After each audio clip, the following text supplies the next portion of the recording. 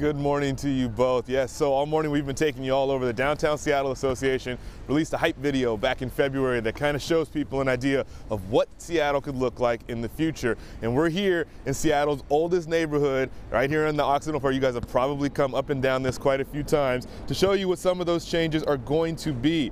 In example, uh, part of it includes adding a playground and a timber pavilion. So this is already a pretty open space as it is, so it will give kids a chance to play and enjoy for those who just want to kick back and relax as well. James Cito of the Downtown De Seattle Association says that he's really excited about this part of the plan as it only enhances the community vibe and would really show off how beautiful Seattle can be. So if we come back live here, you'll see in this particular area where the camera's pointing at, that is where the timber pavilion will be. It'll be right there where the visitor information information desk would be. And then if we spin you back over this way, you'll see that right over here is where they are planning to put the park. Now they won't be taking down the the monuments or anything else like that, but they will have the park right there. They'll have the uh, timber pavilion right there, and then they'll still have all these open chairs for you to kind of enjoy. We will put a link up on king5.com with the link to the video so you can see it for yourself, as well as more pictures and more information. But for now, I will send it back to you.